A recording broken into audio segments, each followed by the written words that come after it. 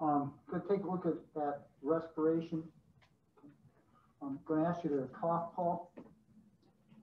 Again?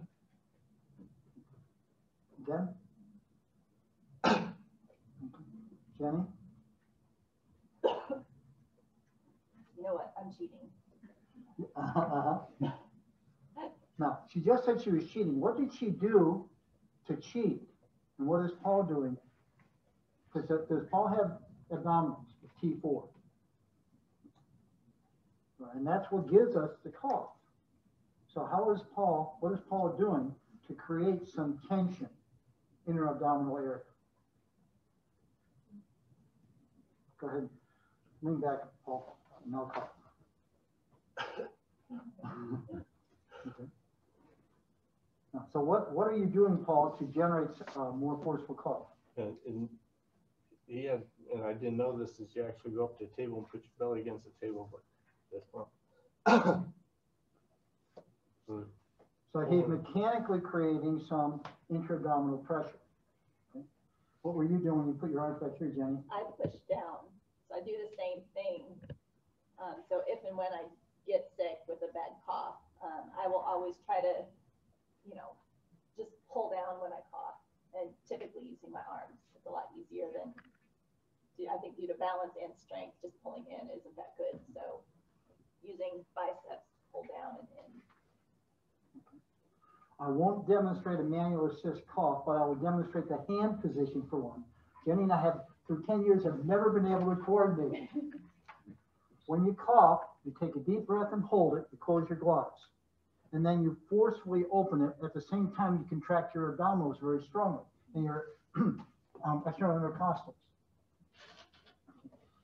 Since Jenny can't do that, if I place my, the heel of my hand, I'm gonna find out where your xiphoid process is, come down below that. So the heel of my hand, make sure the camera's up over here. The heel of my hand is below the xiphoid, probably a little bit above the belly button. I'd say, Jenny, take a real deep breath and cough. And when she coughed, I would push down and up. Time it so that as she is opening the glottis, I'm creating the pressure that the abdominals normally would. Paul's doing the same thing, leaning against the edge of a table. Jenny's doing the same thing by pushing down and letting her trunk flex a little bit. And you heard the difference. How would I rate that cough? I'd rate that cough as if um, I, I hear some po- potential production. So it's a, um, it's not a strong cough, it's not a weak cough. Um, when you do have a, a respiratory infection, are you able to bring something up?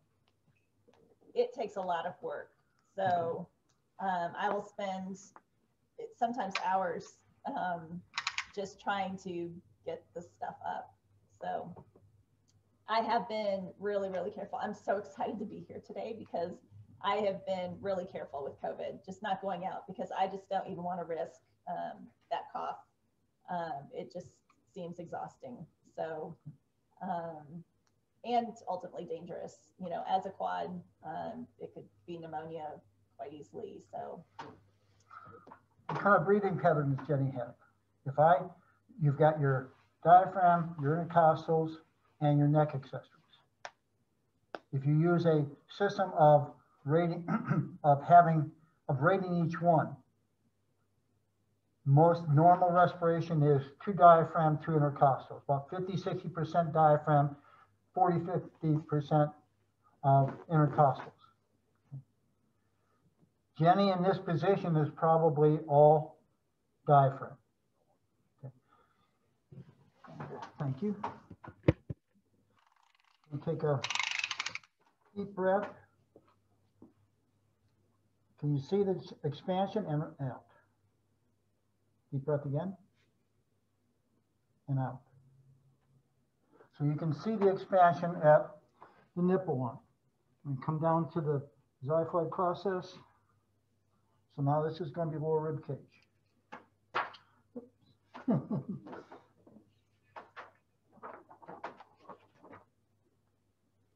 Take a deep breath. Can you see the retraction and out? Take a deep breath and hold it. Can you see that rebound? When Jenny takes a breath, the diaphragm is pulling down. There is no opposing pull from the intercostals. So she's actually getting retraction at the lower rib cage.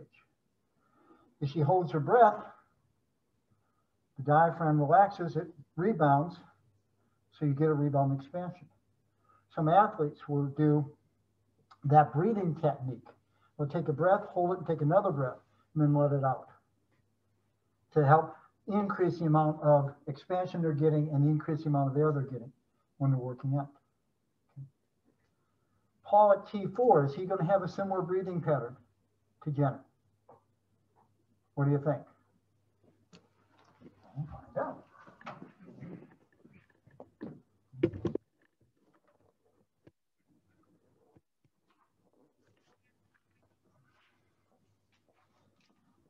Take a deep breath. Now, deep breath again. Now, come down a little bit. Take a deep breath. And now, not quite as much. There's a little bit of intercostal action. You don't see as much retraction. If you guys were to place your hands on your lower rib cage, take a deep breath, you'll feel your fingers come apart because the intercostals are expanding the lower rib cage. So those, the abdominals do a good job of pre-positioning the diaphragm when you have some abdominal tension. It holds the diaphragm up. Okay. so that you have a larger excursion, you can pull more air. If I don't have abdominals, when my diaphragm instead of resting here is down here, it only has that much excursion. So I don't pull as much air. So the vital capacity is going to be diminished, particularly after the new injury.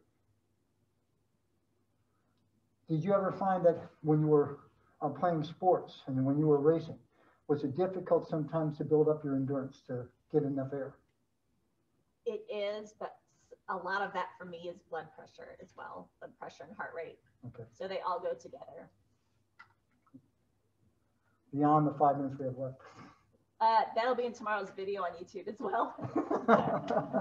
Awesome. How's that for an intro? Paul, how about yourself? Uh, in my racing chair, you're kind of moving your chest up and down off of your knees anyways. Okay. And, and so you just expand it when you come up and then as you push down, you're letting out. So as you, like when you lift weights, you push out when you lift the weight up. And so that's what I'm also doing is I'm pushing down in the racing chair. I'm kind of letting out also in there. Ask you both to sit up. So with the loss of the abdominals, you're losing resting position of the diaphragm. That decreases your vital capacity. Losing your cough.